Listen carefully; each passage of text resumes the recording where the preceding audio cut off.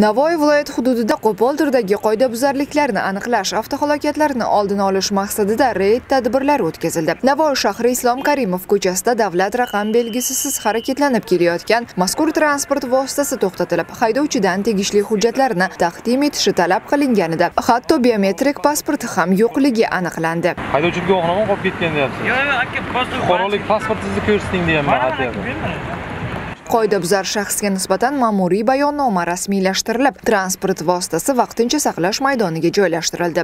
Bundan tashqari reyd tadbirlari davomida 30 nafarga yaqin qoidabuzar fuqarolarga nisbatan chora ko'rildi. Shuningdek, harakat ishtirokchilari bilan amaldagi yo'l harakati qoidalari yuzasidan profilaktik suhbatlar olib borildi. Boshqaruv paytida telefonga chalg'imasliklari tushuntirildi. Reyd tadbirlari davomida to'plangan kuzatuvlar tahlillari shuni ko'rsatadiki, transport vositasini namunali boshqarib kelayotgan fuqarolarning aksariyatini ayol haydovchilar tashkil etarkan. Ular harakatlanish madaniyatiga namuna bo'lib, qoidalarni buzmay, tegishli hujjatlarni to'liq olib yurgan holda mas'uliyat bilan avtomashina boshqarishlari ma'lum bo'ldi.